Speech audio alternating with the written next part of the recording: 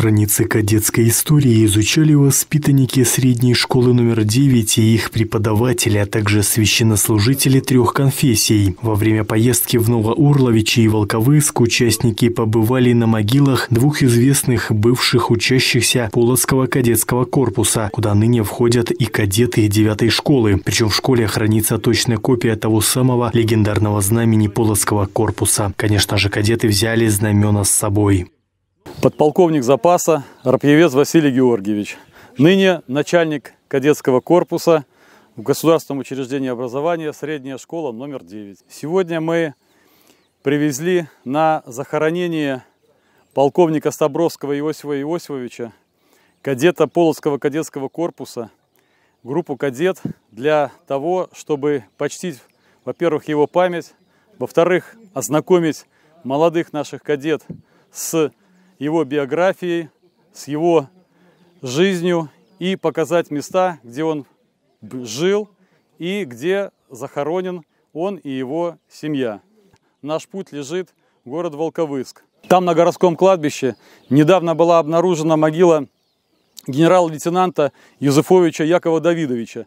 Это начальник штаба легендарной дикой дивизии, которая имела официальное название туземная конная дивизия царской императорской армии, которая сражалась в Первой мировой войне за Российскую империю.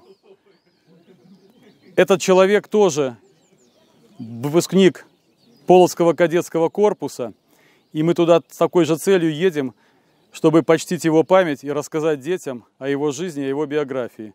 В поездке участвовали священнослужители трех конфессий, потому что герои, чей воинский и гражданский путь изучали кадеты, были разного вероисповедания – православные, мусульмане, католики. На могилах известных людей отслужили молебен. По дороге участники экспедиции слушали рассказы о родном крае, его людях и традициях. Будучи в Волковыске, конечно же, не прошли мимо музея Петра Багратиона, героя Отечественной войны 1812 года. Тут же ребята поделились впечатлениями впечатлениями от увиденного и услышанного. Цигель Ольга. Конечно, очень мне понравилось э, посещать места, которые нужно помнить всегда, посещать места людей, которые э, родились э, в родном городе Слониме моем, которые сделали многое для процветания нашей жизни. Вице-фрейтор Шурко Артемий.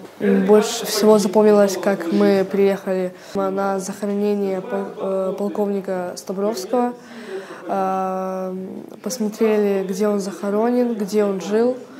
Э, мои впечатления, мне очень понравилась эта поездка. Антоний Владислав, учащийся 11 Б класса кадетского. Как бы больше узнаю свою историю своего края родного, своей области, э, всей Беларуси. Узнаю, какие великие полководцы, там, руководители жили на этой территории.